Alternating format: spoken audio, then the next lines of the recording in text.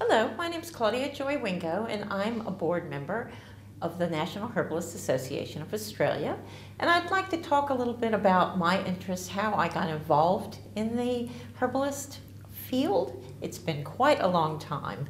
Uh, originally, my grandmother was a herbalist in the Ozark Mountains, and she certainly sparked my interest there. My dad was a botanist, zoologist that worked for the Department of Agriculture. So I spent quite a lot of time in fields and mountains around the Ozark Mountains picking herbs. And then suddenly I decided that that's really what I wanted to do. I came to Australia in 1978, even though I still have this accent. And I got involved with the Herbalist Association when I was a student at the New South Wales College of Natural Therapies. And it's evolved from there. I've been doing herbalism since that time, which seems pretty amazing to me. Time flies. Lately, I have been doing a Master of Public Health, and I realize how much the herbal knowledge that I have related to that course because in the Masters, we did health promotion, and health promotion that we were doing really relates to herbalism and naturopathy.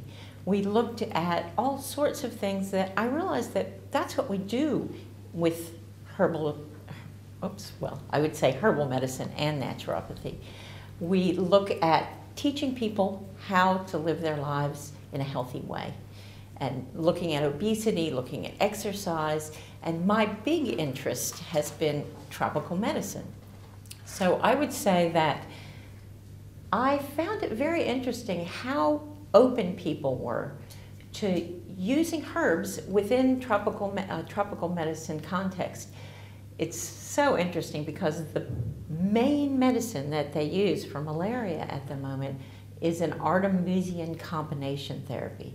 So they use the plant-based medicine from Artemisia annua as the mainstay of malaria therapy. And when I talk about that, it's quite funny. When we were doing the course, I just happened to have a sprig of Artemisia annua pressed in my notebook, which I happened to pull out.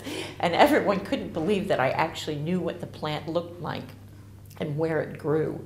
So they're a little bit divorced from the, the actual growing and harvesting of the plant, but they recognize that there are quite a lot of plants that have the capacity to be working for tropical medicine in a very, very real way. Um, I have a friend who's been working at the Pasteur Institute in Paris, and they are also looking at plant-based therapies for malaria and dengue fever and some of the other tropical diseases that have been uh, the, the scrounge of particularly the developing world. Stillingia is one of those. And so I think that really this is somewhere that herbal medicine can really show its forte. And I think, you know, as we go forward, particularly with a lot of evidence-based material in herbal medicine and naturopathy, there's a growing awareness that herbs really do have a place in modern medicine and that what we do is very much integrative and complementary therapy.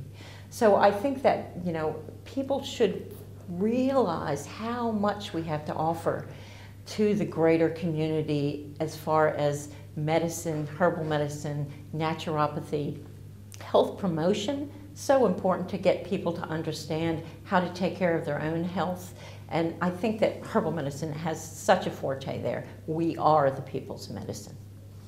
So please come and join us. That's what we want. We want public support. We want support from all the herbalists and naturopaths out there because really the National Herbalist Association is here for you. We want you all to join us and get the information that you need. Thanks.